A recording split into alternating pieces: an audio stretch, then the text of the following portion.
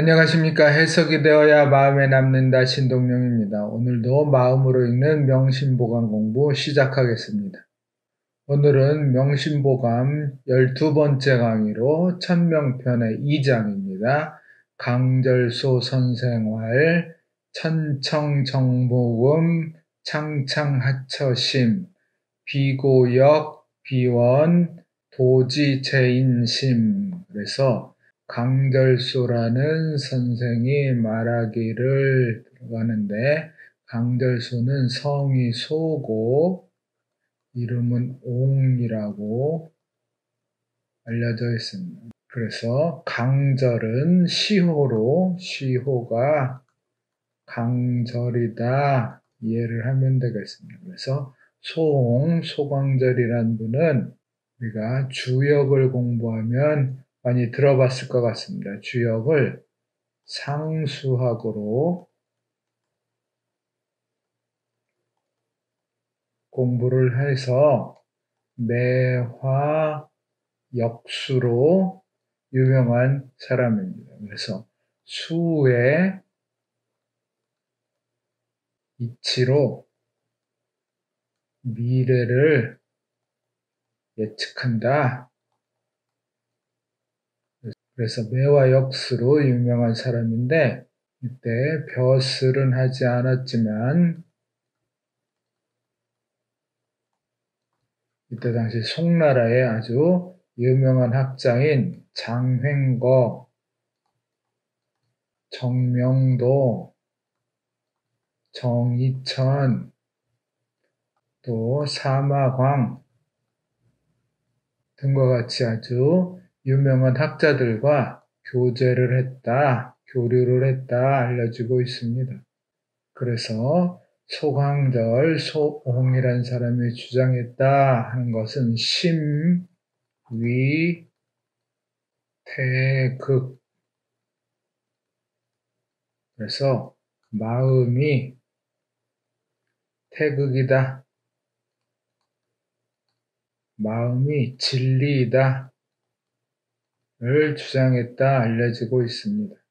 그래서 오늘 강절소 선생이 오원절구로서 시로 그것을 표현을 했는데 천청정모음 그래서 오원시는 둘둘 끊어서 천청정모음 창창하처심 비고 역비원 도지체인심 이렇게 끊어서 해석을 하면 되고 또한 두 번째와 네 번째가 심심해서 문자라고 해서 같은 음을 써서 운자를 마치는 그런 형식을 갖춘 오원 절구의 시다 이해를 하고 해석을 하면 되겠습니다. 그래서 강절수 선생이 왈 천청정모음 그래서 둘 빼면 하늘이 들 의심이 적은 고요하고 무음 소리도 없고 창창하면 창공 푸른 하늘 하처심하면 어느 곳에서 심 찾을까 비고역 비원 높지 않고 높음도 아니고 또한 멀지도 않고 도하면 모두 도자입니다. 모두 다만 제 무엇이 있다. 사람 마음에 있다. 해석이 되는데 전체적으로 보면 뜻이 쉽게 와닿지는 않습니다. 하늘의 들으심이 사람 마음에 있다 이런 뜻인데 하늘이 듣는 것이 고요하고 소리가 없다. 그래서 하늘 들으심을 어느 곳에서 찾을까? 하늘의 들으심은 높지도 않고 멀지도 않고 다만 사람 마음에 있다. 그래서 도대체 하늘의 들으심이 뭔가 그러면 천명, 천지 자연의 이치, 길과 흉과 화와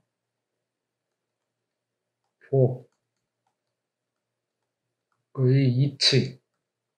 그런 것이 모두 천명 하늘의 들으심이라 해석하면 천지 자연의 이치 천명은 고유하고 소리가 없어서 푸른 하늘, 하늘이 너무 넓고 크고 또한 고유하고 소리가 없으니 어느 곳에서 그걸 찾을 수 있을까?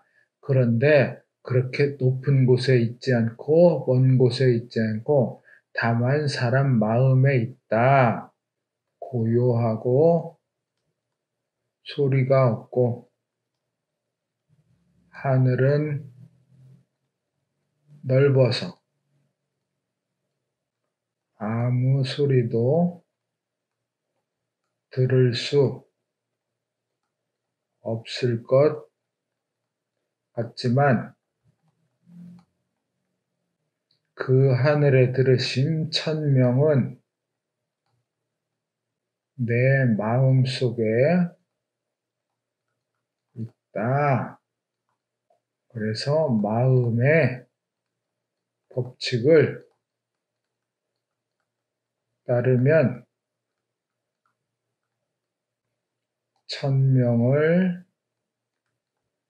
들을 수 있고 또한 찾을 수 있다. 그래서 천명은 내 마음 속에 있으니까 내 마음의 법칙을 잘 따르면 된다 하는 뜻으로 앞에 말씀드린 심위 태극 마음이 진리다 하는 말, 마음에 진리가 있다, 천명이 있다. 그러면 어떻게 보면 이건 주자의 성리학,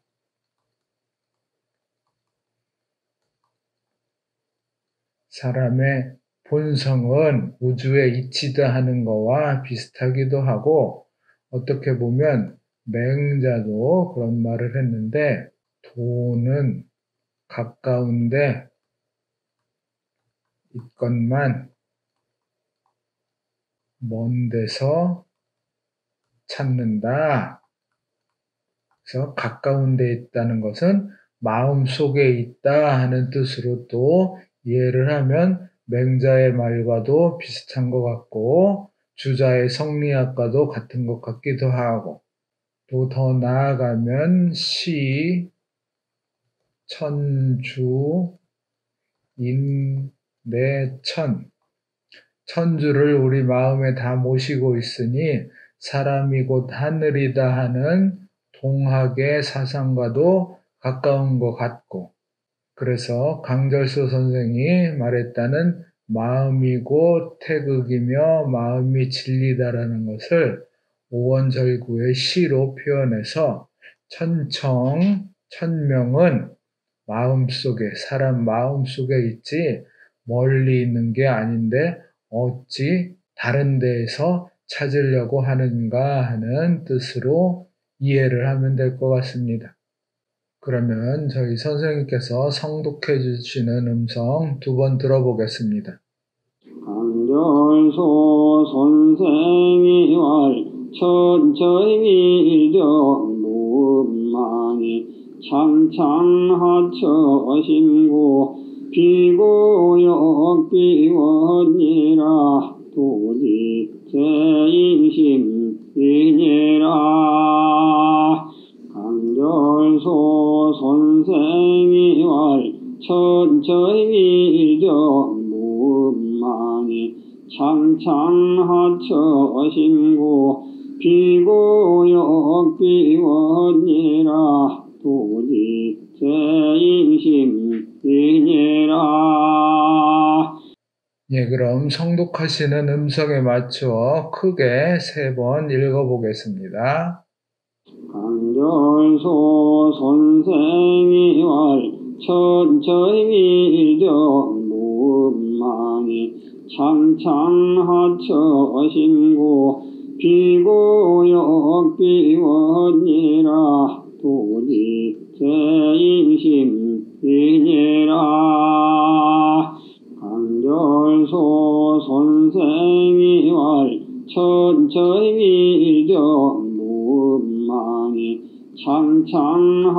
하처 심고 비고역 비원이라 도지 제인심 이니라.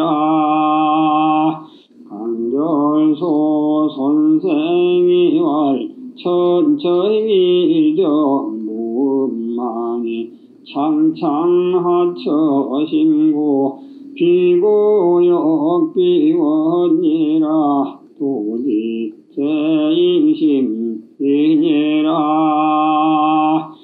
예, 오늘도 마음으로 읽는 명심보감 공부 수고 많이 하셨습니다.